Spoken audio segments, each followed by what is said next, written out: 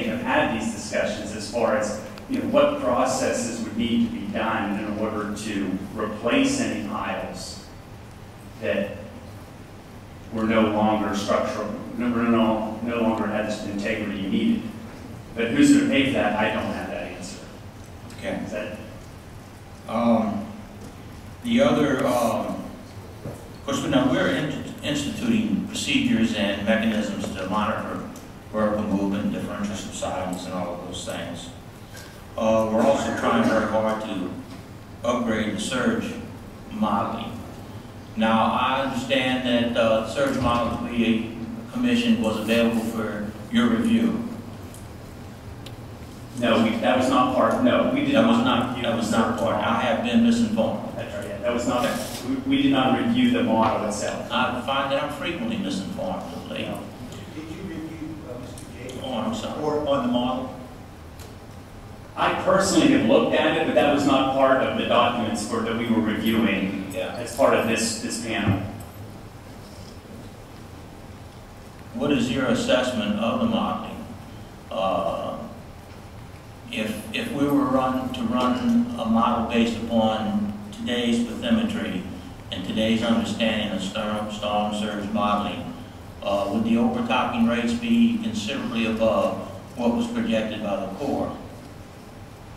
That, that is not my area of expertise. But I would say, along the lines, though, I do believe, as I, as I mentioned, there needs to be continual modeling and continual updating of the, of the bathymetry, of the inclusion of the process, better inclusion of the processes that are important, right? And then better, in- in- in- better integration of the uncertainties, whether it's driven from the meteorology, whether it's driven from the processes or from, um, yeah, the processes such as wave heights or other, you know, important physical processes that are occurring.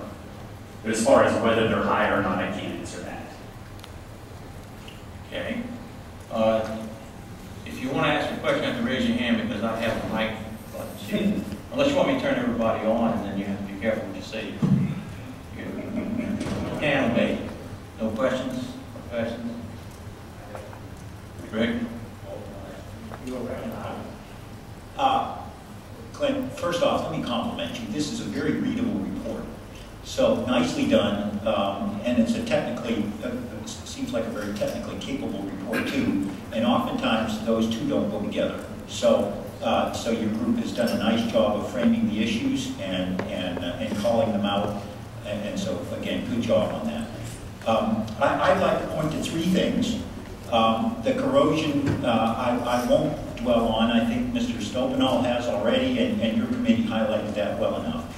But there are three aspects of this that I, that I would like to point out technically. Again, one is the need for, your call for, a periodic update to the um, design tools that went into the development of the, um, of, of the design, excuse me, of the design of the system, namely the hydrodynamic modeling and, and all of the associated aspects uh, with that.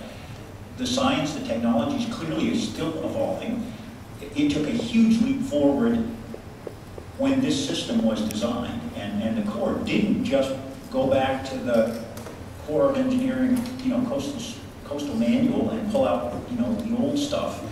They really engage the, the technical, the science and engineering and they really, uh, they advanced things tremendously, and they're to be credited for that. But, but that process is continuing, and so I, I just want to reinforce what your report says, is the need for this to be reevaluated on a five to 10-year basis.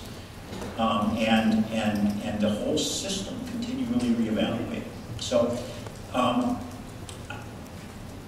and, and so, I, I- call that out. What concerns me is there's no one in charge of doing that.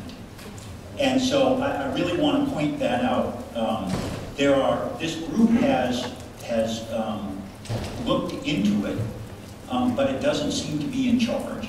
Uh, CPRA has quite a lot on their plate, and obviously they are the, the local sponsor, so nominally they're in charge. And I know they, they are capable in, in this area, but nevertheless, there needs to be a clear plan laid out to make sure this gets done.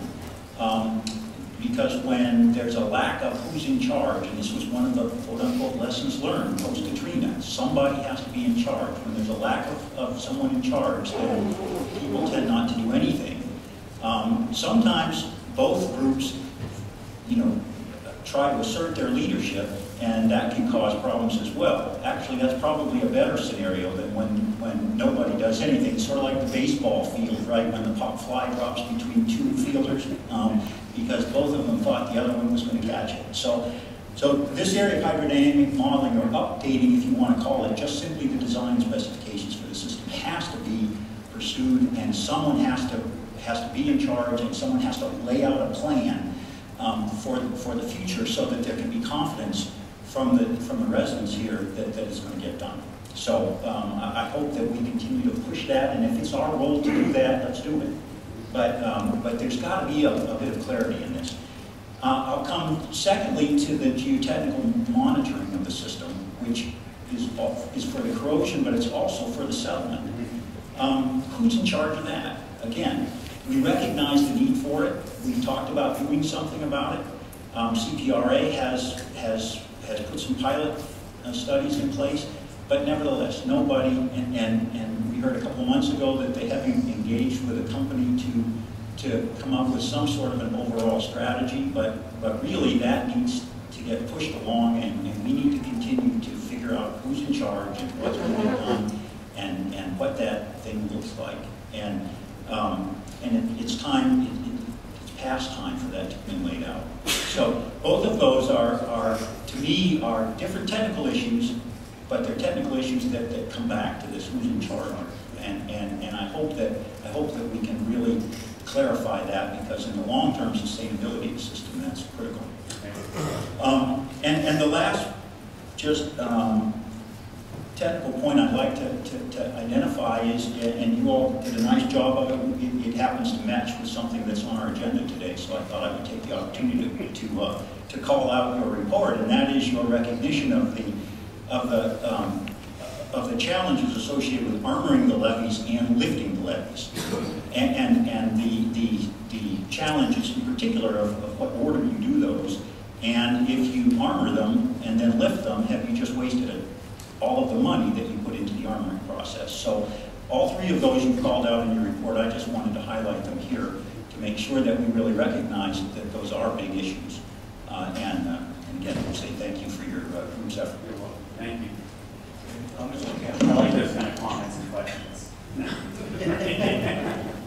Mr. Kemp. Oh, uh, yes, Clint, I, I wanted to thank you for the clarity of the report and uh, I just want to reiterate the armoring issues because these are these are uh, uh, going to be with us for forever.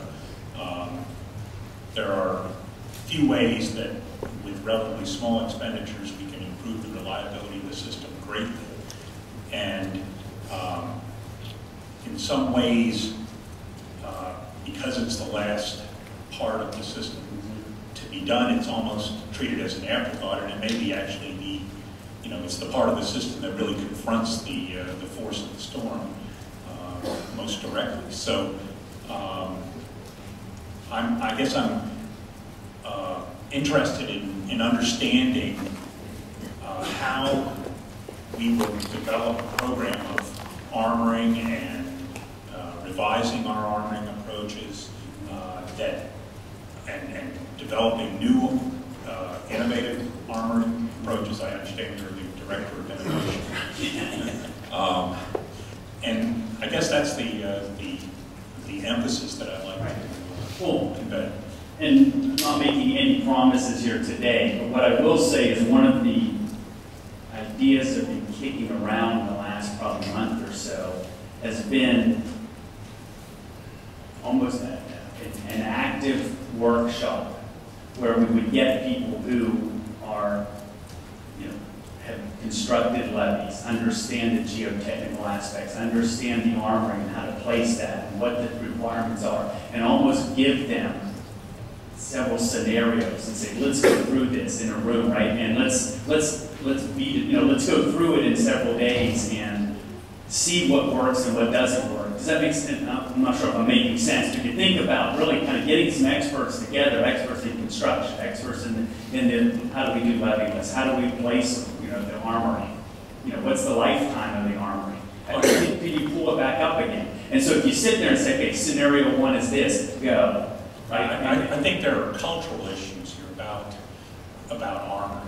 Uh, I've watched the Corps change their approach over, uh, over time from believing that armoring was virtually unnecessary and uh, superfluous and, uh, to now, uh, they take it much more seriously. But I, I think that there's still a cultural lag there in some ways uh, in the engineering community. So, uh, Well, I think there, there's, at least till probably the last couple of years, there's been a pretty large gap in understanding what that arm, what's required. You know, again, I'm just thinking a couple of years ago, you know, all you kind of had was, some European standards really for, and those were very, very conservative, from what I remember. And so I think as they're filling in the gaps, you know, hopefully, uh, we, we can move forward towards making this an active part of the design, not, okay, now that we've designed a system, now what do we do? Which is what's happening. put the icing on. Right, that's right. And I, yeah, no, that's good, yep. Okay. Thank you, Bob. Well, thank you very much. Uh, You know, I remember back to 57 with Audrey, and they built the levees, and along came uh, Betsy, and they rebuilt the levees, and uh, became complacent. Along came Katrina, and in the words of Yogi Berra, I'm getting deja vu all over again. Uh, So I like these comments, uh, particularly uh, Rick's comment on, we've got to put somebody in charge and then give them the authority to do it, so that we can uh, make sure that uh, the next storm that comes, and it will be the next storm, and the surge will be higher than Katrina, uh, and it'll find the weak spots in our system. Let's just hope that we've got that covered to where we don't have the same kind of loss. Anybody else have any questions? Dr. Willson, thank you so much. My pleasure. Happy day. All right, we